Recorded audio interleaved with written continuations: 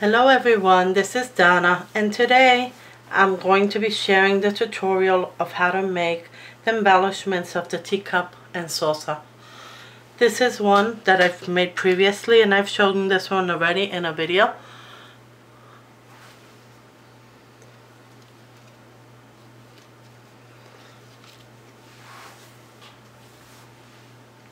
What will you need to make this? Let's put this over here you will need a doily, any color you want.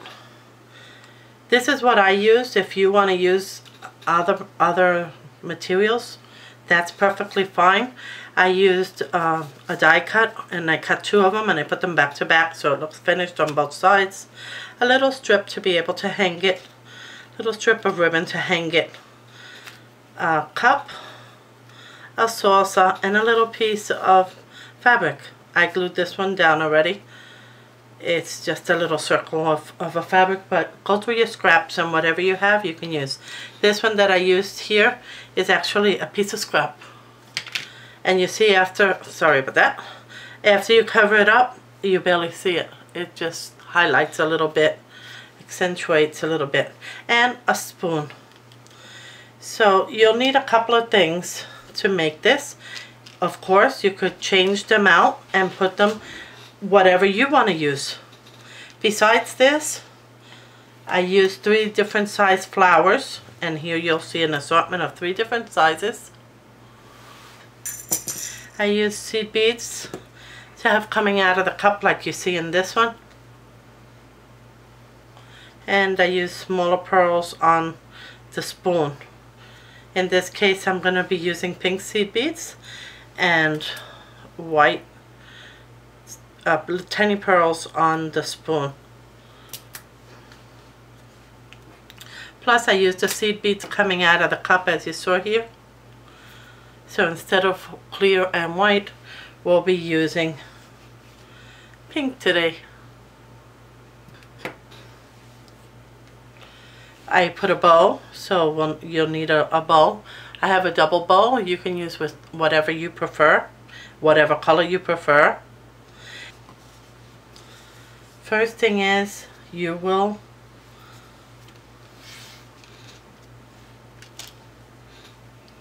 back up the piece of double cardstock to the doily because the doily alone you know it's bendable. But with the cardstock it gets quite firm and so when the saucer goes over it's even firmer so let's get this together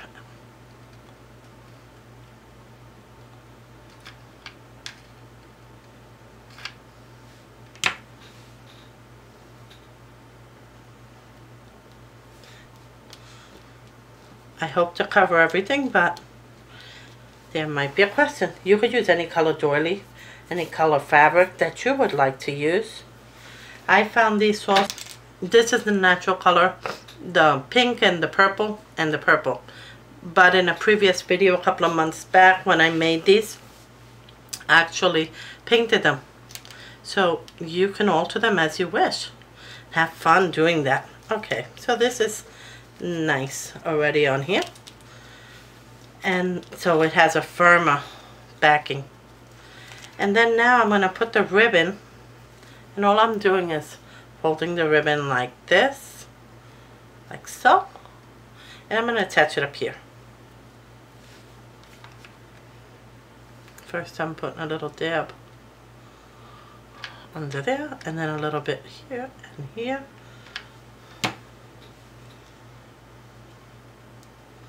Now I don't want it to stick out too much.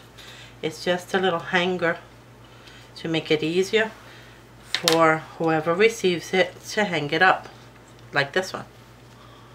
The hanger's already on there so they just hang it up. I put the cup on purpose facing down so that the little seed beads show coming out but see inside the cup there's seed beads until they flow out. If I would put the cup facing up then it wouldn't show the seed beads falling out would it?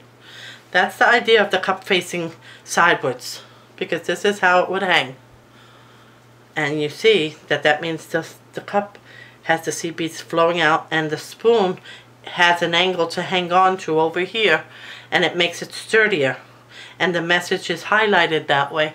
It's not flat on the plate. So these are just reasonings that I had to do it this particular way, but you set it up the way you feel most comfortable. Okay, this is already dry. Just to put a little more to the part that's attached to the doily to firm it.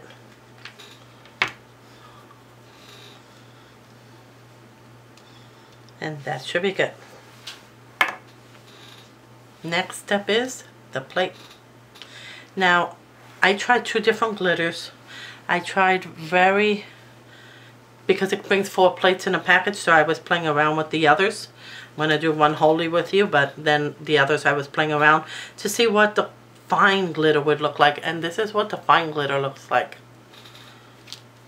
And then I tried a little bit coarse glitter, which is this size. And this one happens to be Martha Stewart, but there's other brands out there.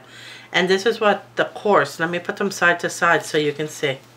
This is what the coarse glitter looks like. So you can choose which one you like more. This is the coarse. And this is the fine glitter. It's just a preference. And this one that's done already has the coarse one in it. And it's just a once you decorate it, it's just a little hint of it that you're going to be seeing. You're not going to see that much of it. But it gives it a little extra look there. Okay, let me move these aside. Okay. Then you take this pretty eyelash trim and you can do it one of two ways. I did it both ways and you choose the way you like to do it better. I put this one on alone under here and when it sits on the doily it's gonna look like that or I put this one once I put the plate on then I just circled around the plate and glued it on and I think this way it shows more than looking at it this way what do you think or do you like it better that way so that's another choice you're gonna make if you like it better that way or this way. I just look at, when I'm looking at it, I see like that. This one shows more. And that was done after the fact. I attached the plate first, and then I just circled, I put a little glue in a little corner, and circled around the plate. And I found it shows a little bit better. But you choose how you like it. This is what it would look like. This is what the two of them would look like. Sorry. Let me move this one out so that you're not looking at too many things at once. See? So that's another choice you make. Now let me put together the one I'm working on today. Since I saw that it looks better that way, I'm going to actually attach it after the fact. Yes. To put a little glue right here in the middle. And a little bit does. You know why? Because these plates don't really weigh anything. And this also helps to hide perfectly the the tap. If you put it later on, then you're going to have it hanging out of the back.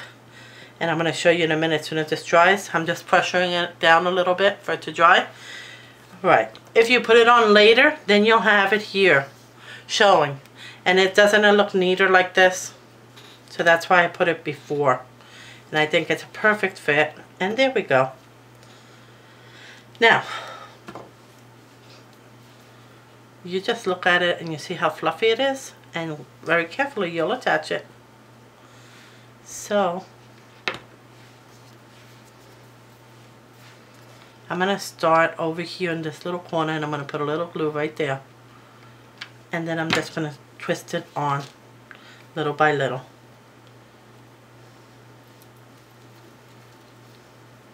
And I'm going to go around and around and around. You could stop right there or you could keep going. This time I think I pulled it a little too tight. Let me just pull it out a little bit so we can see it better. Yeah, I pulled it too tight around. And there's plenty. It doesn't have to be tight. If it's a little loose, it shows better, right?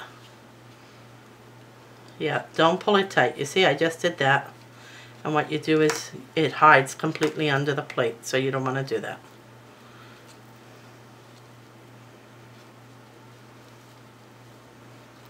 And once you finish wrapping it, little dab of glue where it ends, and push it in.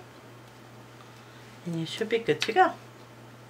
Not going to stick my hand in there because it's probably going to be too hot for me to touch it. And there goes that. So now,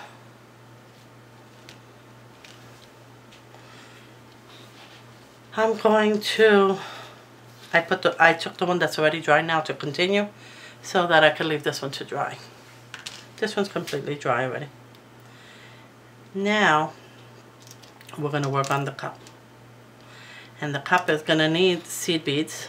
So all you do is tilt your cup you know it's going to go, well, if you do it my way, it's going to go like this so that the handle's a little up in the air.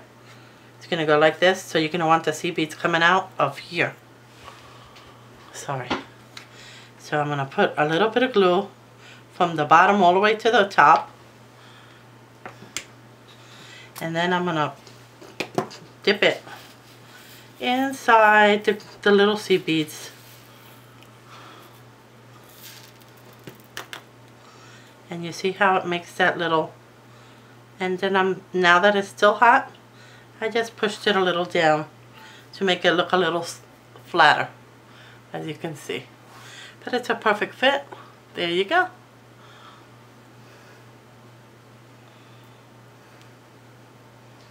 Really nice. See? Looks like it's flowing. Then I'm going to use a little bit bigger ones for the spoon once we attach the cup. So the cup's going to be like so. Let me just straighten this up. The cup's going to be like so with a little bit of a tilt. Not too much. a Little bit of a tilt so it'll be like that. So let me put some glue. So much on here as over here. And let me put it down to dry. And let me hold it there a minute to dry.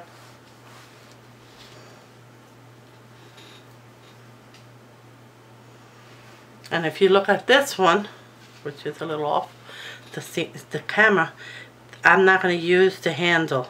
What I'm going to use is actually the stand of the cup to hold up the spoon. But the handle's pretty, so I didn't want to make it flush with the bottom of the plate. I wanted to show it a little bit. As soon as you feel it steady, you can pick it up.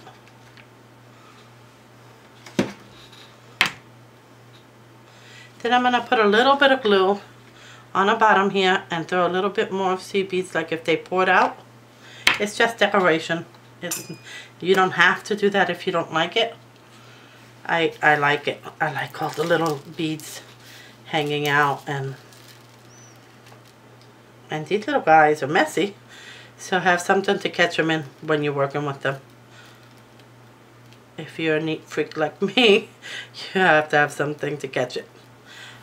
See how nice it looks like that, pouring out? Really cute. Okay, now moving on to the white ones. I want them a little bigger for the spoon. And for the spoon, what I use is uh, a glue like this. You Anyone you want. You can even use your glue gun. I just don't want to wet the paper too much because it's only paper. And this one's cute. It says eat dessert first. Isn't that sweet? And so you put a little bit of glue on it. And where do I get these sayings? I get them right offline. Online, I'm sorry, not offline. Uh, or you write them up yourself, things that you want to say. As sentiments, you know? And center it on your spoon as best you could. And it sticks on quick because this doesn't really weigh anything. See? And you clean it up with your finger if, if it doesn't bother you. It doesn't bother me. to get a little messy when I'm crafting. So I just do it with my finger if you wanna clean it up with something else. But just clean it up while it's still wet. See how neat that looks now? I didn't wait. And so it's on there already. And now I can very quickly glue it on. I don't want the video too long. Before I glue it on, I'm going to take the seed beads. Oh, those are tiny pearls. I'm sorry, they're not seed beads. And I'm going to do like this one. You see over there how it has those little beads right there? I'm just going to put a little glue right in the bottom here and dip it in. It scoops up the ones it wants to scoop up and you don't have to do much for it. You don't have to place one by one. Just by scooping in, you get all the ones you need. I got a little bit of strings, glue strings. Let me clean them up a little bit. Okay. That's done then too.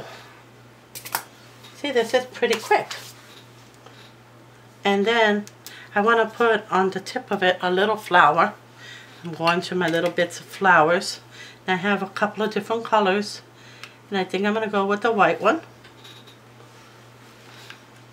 Little dab of glue. And I'm going to stick it right up here. And I got those little flowers in Michael's. They are near the registers where the new stamps came out. And so they have a little a little bin full of them. But if you have a punch or whatever, you can cut them. You can cut them yourself. There's a spoon, and now I'm going to rest the spoon on here. So let me measure a little bit and see exactly where. I'll actually do one side at a time, so I'm going to do the spoon bottom first. And then I'll do the spoon top because I really want it to stay exactly where I want to have it. So I have to measure one by one. Let that dry a second. And that's a good thing about the glue gun. It's a quick dry, right? Just holding it on. And then lift it up slowly. And just stick your gun under there a second and put a little dab of glue. You don't want to mess. Well, I don't. that bugs me, so I, will do it little bit by little bit. Even if I have to do it two times. And any excess, just pull it off. If you don't want to get burnt, if you're sensitive to that, when you pull it off, just get a little piece of something and pull it off. My fingers are cured already. I don't, I don't feel much of any of that anymore. The burning. But that's hot. So if you're not used to it, don't burn yourself. Okay, so this is good. Now I'm going to get a little flower. Little flower from my little flower bin. And I'm going to put a little flower right up here. Little hot glue.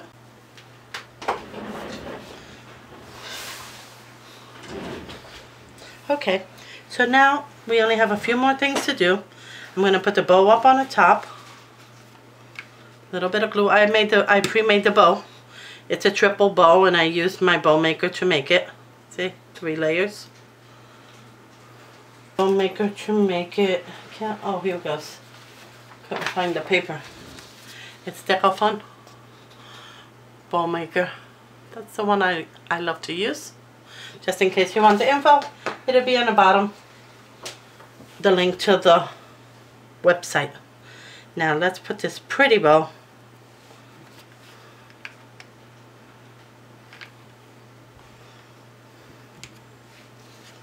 gonna stick it right here and let it rest right there. I'm also going to be attaching a flower in the center of the bow.